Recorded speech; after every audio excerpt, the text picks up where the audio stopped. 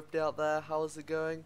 My name is Mines and today we are going to be checking out some items that I've just received. So, an anonymous person, they didn't want me to tell you who they were, has given me something pretty crazy. And this is a hacked item from quite a while ago. And I hope I am safe in this house. I'm just a few thousand blocks away from spawn. And as you guys can see, this is stacked armor. And this is something exceedingly rare on 2B2T. You don't see stacked armor almost at all. And yeah, I think I, I haven't tried putting it on, but I just assume you can put put it on. Uh, okay, we just unstacked one of them, but according to the person who gave it me, uh, this armor is there's only about 11 people on the whole of 2B2T who have this armor. I don't know how reliable they are, but they gave me the armor, so I'm assuming they have a rough idea of who, of how many people have it. And this armor was made back when um, Pyrobyte was on the server, and Pyrobyte, uh, when he had the back door, he created this armor. So I just thought I'd show it off to you guys because it's kind of really overpowered. But as you can see, I don't think you can wear it unless I try to put it on wrong. But I don't want to risk it again. In fact, I think I've got some more.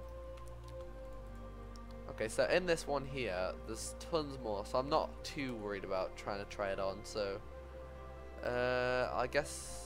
Look, I think Hause has put a plugin in there to stop people um, putting this all on at the same time. Or something's happening to stop me putting it on. But yeah, I just thought I'd show you guys that. It's a really cool item that I've just obtained.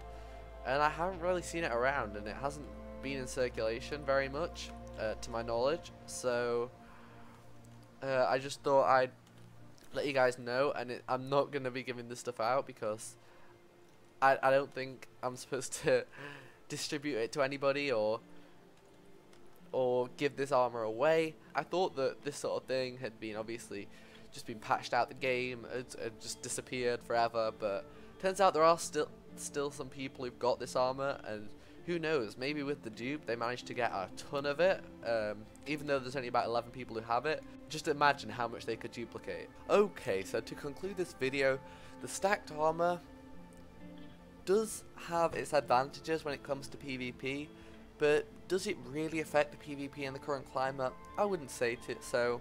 I wouldn't say that somebody who has this armor has much of an advantage over you in the current state of affairs because PvP these days is mostly crystalling. If you're wanting to kill somebody, you're going to use crystals, so since everybody's using crystals, the amount of armor you have doesn't have an effect. It's whether you have your uh, totem and and it's mainly other factors that affect. It's not really the armor. However, it will give them advantage in some ways if you were just having a sword fight. Um, you obviously can't wear the armor, but the armor does have the ability to be used with the use of a client. You can pretty much have auto armor. So basically, as soon as one breaks, the next one replenishes, and you could go on for a long time until you'd ran out of all the stacked armor. How likely is this to be circulated? Well, the current currently I think the players that have it,